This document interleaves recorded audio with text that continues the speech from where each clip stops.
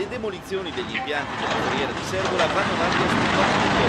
a cadere, sollevando una nuvola di polvere di carbone, è stata la torre del nastro di caricamento dell'altoforno, il sistema che permetteva di alimentarlo con il carbone per produrre il coq, minerale, quello caduto a terra, probabilmente più vecchio di molti centenari. Le procedure vanno avanti osservando le regole previste dall'accordo di programma, anche se rimane un vulnus, ovvero non c'è ancora una vera e propria autorizzazione in materia del Ministero dell'Ambiente, che però monitora da vicino la situazione e ha chiesto chiarimenti anche attraverso quella che è stata battezzata una conferenza dei servizi asincrona sullo stato dell'arte. Insomma, l'ok arriverà, ma serve cautela e un monitoraggio costante sulle operazioni che inevitabilmente determinano una nuova fase di inquinamento anche se circoscritta. Ecco il perché del sopralluogo odierno a terra e in mare di tecnici di regione, ARPA, autorità portuale e capitaneria di porto, un punto della situazione necessario per capire e correggere anche eventualmente in corsa le demolizioni. Si procede di volta in volta